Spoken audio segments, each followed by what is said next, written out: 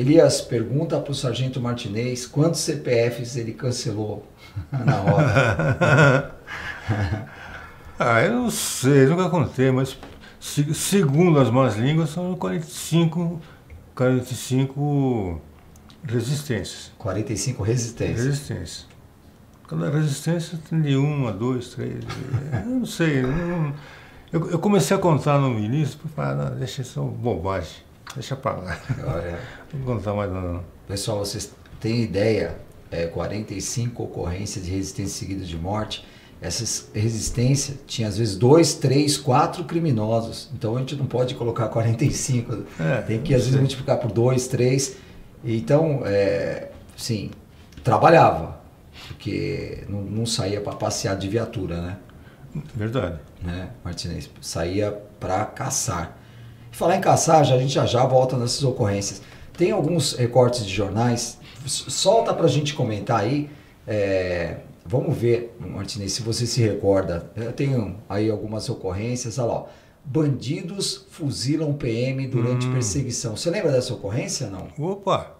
É. Essa que eu, que eu, já contei agora há pouco. Ah, foi essa daí? Foi essa aí. Ah, então essa aí nós já falamos. É, do, esse aqui é o Sargento Santos. Aquele é o soldado Oliveira, esse ah, aí. Ah, tá. Aí, pessoal, essa daí. Então, nós... o, o Santos ele tomou um tiro no peito, um pouquinho acima do coração, um tiro nas costas que transfixou e outro no braço. Olha né? só. O... Ainda bem que sobreviveu. Depois disso aí, ele começou a trabalhar interno. Nunca mais ele foi para a rua. O, o Oliveira, Oliveira também. Nunca mais foi para a rua.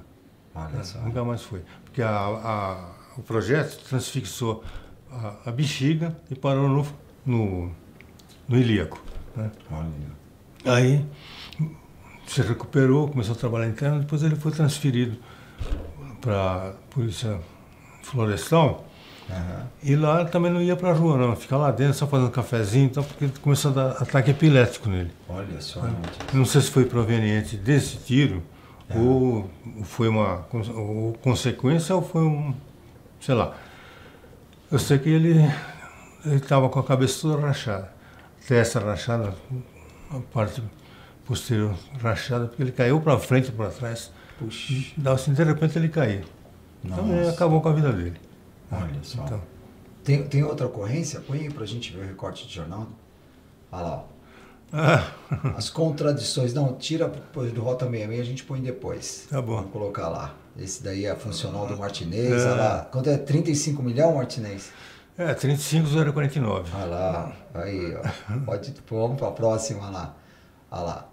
Um se rende ah. e a rota mata o outro no tiroteio cerrado em Suzano. Você lembra dessa ocorrência, Martinez? Claro que lembro. Opa. É. lembro, nossa. Conta aí pra gente, pro pessoal saber mais ou menos. É, isso foi o seguinte. Eu, como eu falei que eu gostava de trabalhar na Zona Leste, aí essa noite nós fomos lá, estava lá na Zona Leste, uma esticadinha até Suzano. Uhum.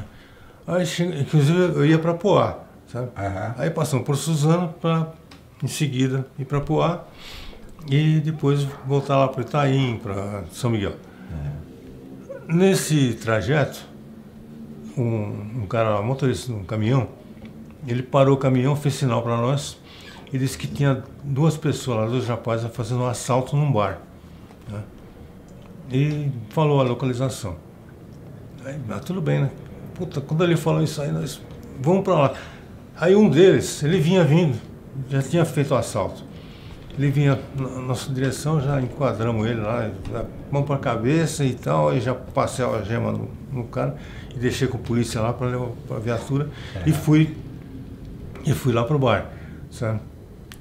Aí estava eu mais um outro policial lá, o Maurício, e o bandido saiu correndo, sabe? Saiu do bar, entrou numa chácara, sabe? Lá naquela região tem muita chácara. E ele entrou na cerca, né? Passou lá para dentro da chácara e ela era bem, bem abaixo do nível da, da rua. E correndo atrás, rapaz, de repente o cara saca a arma e atira. Aí teve o revide, né? E, e para tirar o cara dali. hum, foi um sacrifício. Porque como era local baixo, e bem abaixo da rua, uhum. a viatura foi lá na frente do sítio, não, sítio, chácara, sei lá, foi lá onde a gente estava, colocamos ele no chiqueirinho para socorrer. Na hora de sair, tinha uma pontezinha, um riachinho lá no meio do, da chácara, e a ponte era aqueles pau, aqueles, é. aquelas toras de madeira, não era ponte irregular, sabe? Aí quando foi passar por ali, não, não era o piloto da viatura, era um outro, era o Freitas que estava dirigindo. Uhum. Aí o Freitas perdeu um pouquinho o controle, derrapou e, e para tirar aquilo lá foi um sacrifício. Aí nós pegamos, levamos lá, eu pedi o, o Fusca emprestado lá, o cara da chácara lá, sabe? O japonês. Uhum. Emprestou o Fusca, colocamos o cara dentro e vamos socorrer imediatamente. Não tem esse negócio de é, vamos chamar SAMU, chamar, nem existia. Né? Uhum. Aí pusemos no Fusca do japonês lá, socorremos, mas infelizmente já era. E, e o coitado do japonês também, que o Fusca ficou todo ensanguentado. É, depois ele teve o trabalho de limpar, né? Nossa. Mas foi assim. Eu lembro bem dessa ocorrência aí. Lembra, né? Opa!